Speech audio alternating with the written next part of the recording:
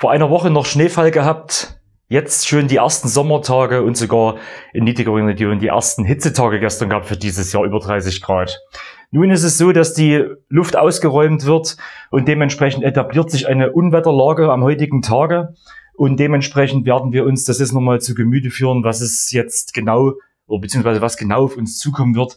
Denn die Gewitter werden dynamischen Charakter bekommen, organisierten Charakter und dementsprechend ist diese Wahrscheinlichkeit für Superzellen gegeben. Gehen wir aber jetzt drauf ein und dementsprechend ein erster Blick auf den Satellitenfilm von aktuell, von gerade, ja. Wir sehen im Prinzip hier diese Luftmassengrenze sich etablieren.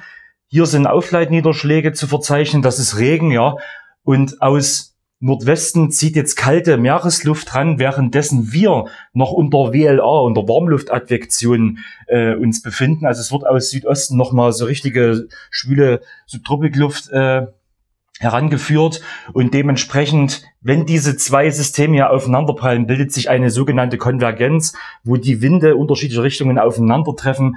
Die Luft muss aufsteigen, weil sie kann ja nicht weg und dementsprechend sind hier Gewitterwahrscheinlichkeiten beziehungsweise Unwetterwahrscheinlichkeiten äh, gegeben.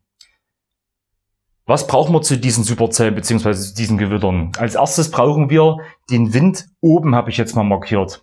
Man kann im Prinzip erkennen, dass aus Südosten in 850 Hektopascal, also quasi in 1500 Metern Höhe, ja, der Wind aus südöstlicher Richtung kommt, währenddessen, hier ist die Konvergenz in der Höhe, währenddessen er hier aus westlichen bzw. nordwestlichen Richtungen kommt, gegebenenfalls auch mal schon aus Süd, Süd, Süd also west-südwestlichen Richtungen.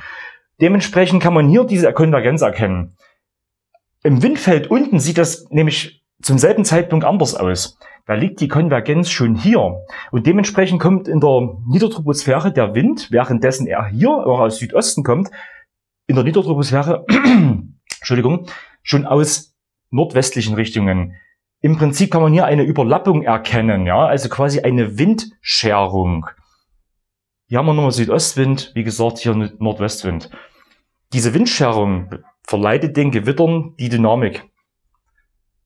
Wenn wir jetzt noch die Energiewerte der Luft uns zu Gemüte führen, also der CAPE, das Convective Available Potential Energy, also die verfügbare Energie, die einer Konvektion bzw. einer Gewitterwolke zur Verfügung stehen würde, kann man erkennen, dass zu demselben Zeitpunkt wie ungefähr die Cape-Werte bei 1000 bis 1100, sogar 1200 Joule auf ein Kilogramm Luft äh, anliegen haben und die Lifted-Indexe im Prinzip auch negativ sind. Die Lifted-Indexe, wenn die negativ sind, ist es ein Indiz auf äh, instabile Luftmasse. Wenn sie positiv sind, auf eine stabile Luftmasse. Dementsprechend sind hier diese Unwetterkriterien bzw. die Energie auch gegeben.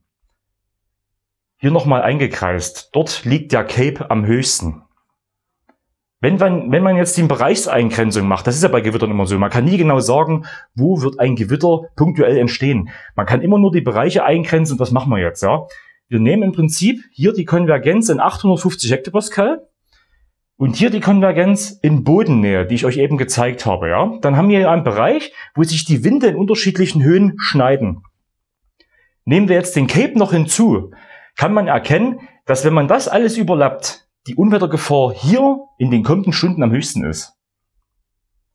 Die Unwetterzentrale bewarnt schon vorab vor diesem Bereich hier, ja, dort können im Prinzip die Gewitter am stärksten ausfallen. Das ist im Prinzip diese Konvergenz 850 Hektopascal bzw. 1500 Meter Höhe und hier am Boden der Cape überlappt und somit kann man im, Prinzip diesen Bereich, wo die Gewitter am stärksten auftreten können, eingrenzen. In diesem Bereich ist im Prinzip äußerste Vorsicht geboten heute ab heute Nachmittag, beziehungsweise ab heute Abend, ja.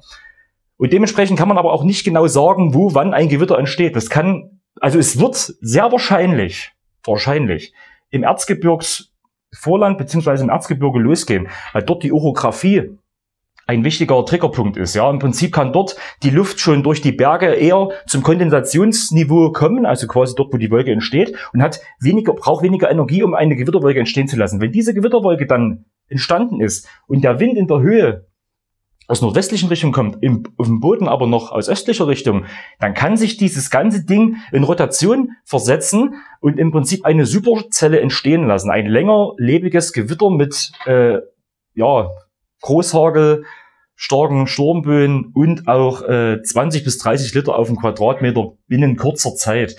Diese Gewitter werden im Prinzip hier im Erzgebirge entstehen und dann nach Nord beziehungsweise nach Nordosten ein bisschen ausscheren. Das muss man beobachten, aber dementsprechend nochmal gesagt, dort ist das Unwetterpotenzial am höchsten. Dementsprechend auch nochmal ein Ausrufezeichen und nochmal kurz zusammengefasst. 20 bis 30 Liter pro Quadratmeter, wenn die auftreten in kurzer Zeit. Hagel bis 4 Zentimeter, überhaupt kein Problem. Ja, umso höher der Aufwind oder umso stärker der Aufwindbereich ist, umso, umso schneller oder umso mehrmals kann dieses Hagelkorn immer wieder in die flüssige Phase äh, kommen und dann auch wieder aufsteigen in die Frostphase, vergrößert werden und immer wieder. Wenn das immer wieder in den Hagel, also in den Aufwindbereich des Gewitters reinfällt, wird das immer wieder hochtransportiert. Und irgendwann ist eben das Hagelkorn zu schwer und der Aufwind kann das eben nicht mehr halten und dann fällt es eben zu Boden. Aber wie gesagt, 4 cm absolut kein Problem. Blitzschlag, Sturmböen und es ist auch, ich will jetzt keine Panik machen, aber es sind gewisse Parameter auch vorhanden, dass sich bei einer absenkenden Wallcloud, also unter der Mesozyklone, ja, dass sich dort auch eine Trichterwolke beziehungsweise ein Tornado bilden könnte. Es ist also man kann Tornados sowieso nicht vorhersagen, aber die Parameter, wir müssen es einfach ansprechen, die Parameter sind einfach gegeben und dementsprechend will ich das auch nicht außen vor lassen. Es muss nicht passieren, ja, aber es ist ein kleines Risiko vorhanden. Das muss man einfach ansprechen, ja. Genau. Das zur heutigen Unwetterlage. Ein kurzer Blick auf den Männertag, auf den uns bevorstehenden, ja. Man kann im Prinzip erkennen, die 30 verschiedenen Member des GFS-Modells, die einzelnen Graphen und je nachdem, wie eng die auseinander liegen, desto genauer ist die Vorhersage. Wir pendeln uns jetzt von der Höhe oder von der äh, übermäßigen Wärme jetzt erstmal wieder in die Normalität ein. Und wir sehen aber auch Niederschläge, Niederschlagssignale. Und genau hier, wo der weiße Pfeil ist, ist der Männertag und der Niederschlag geht hier verbreitet bei jedem, bei jeder einzelnen Berechnung von dem GFS-Modell nach oben und dementsprechend sollten wir uns auf ja, regenfeste Klamotten einstellen. Ja, also es wird morgen vor allen Dingen richtig einregnen. Es wird auch stärker mal richtig konvektiv regnen und das wird dann erst am Donnerstag wieder rausziehen. Also ja, blödes Timing, aber so ist das nun mal. Ich bedanke mich für eure Aufmerksamkeit und kommt gut durch den Tag, behaltet die Radare im Auge und gegebenenfalls können wir ein paar schöne Strukturen erkennen. Ich werde mich heute Richtung Leipzig auf den Weg machen. Ich werde die ganzen Zellen im Prinzip, wenn sie entstehen, im Erzgebirgskamm nördlich davon abfangen und gegebenenfalls kann ich ein paar schöne Bilder schießen. Ansonsten bis später, genießt noch das Wetter und tschüssi.